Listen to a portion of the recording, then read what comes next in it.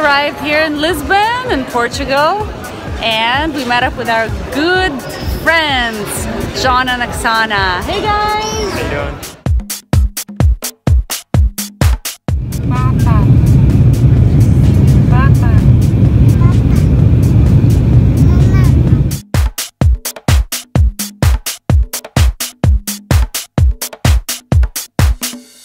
So nice to have friends to travel with, so we're very, very lucky. And John right here is an awesome photographer, so stay tuned for some awesome pictures.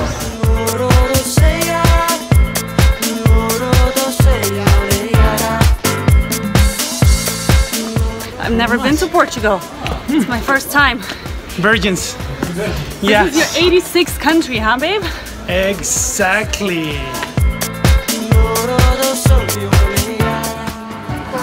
Just arrived in Lisbon, which is called Lisboa. Lisboa in Portuguese and also in Spanish.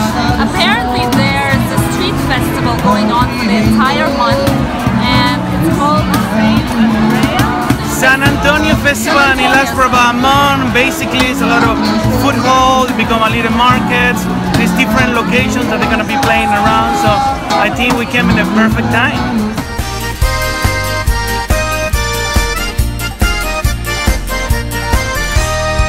Quando chegou, arrumou o namorado, um velhinho já cansado em matéria de nhanhá.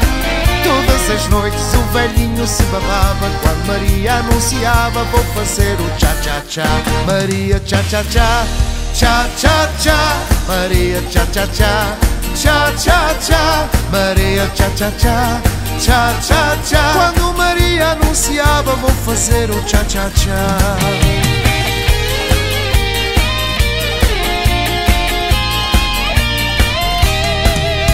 Maria foi um dia horizontina, veio uma equipa da Argentina. Tinha place is real. brincando no quintal.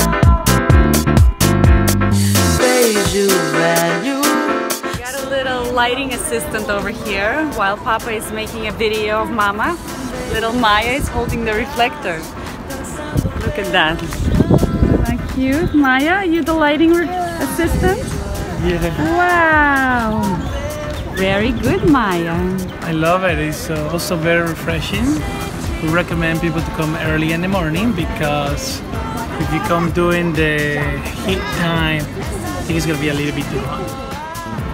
I love all the orange rooftops. They're so cool. It gives the city kind of character. And really, the city is so charming. I love it.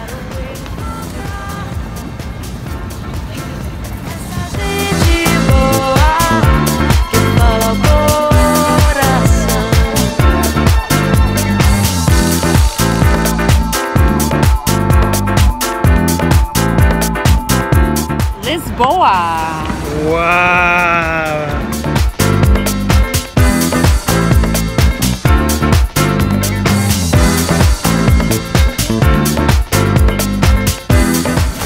The best thing about summer in Europe is the amazing fruits.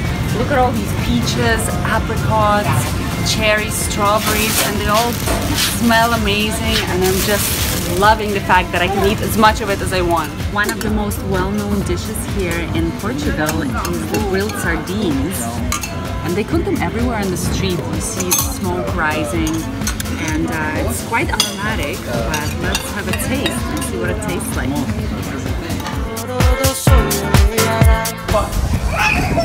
Todo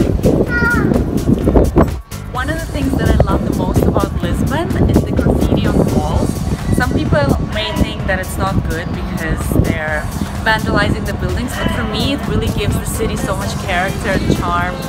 And I have to say, this place is a photographer's dream because every single corner is perfect for taking pictures and it's just so unique and charming.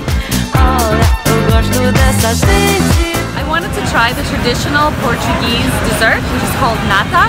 They're little custard cakes that are supposed to be really, really amazing. Found a really cute spot right here in the center of Lisbon. We're gonna check it out and try one of the things, nata.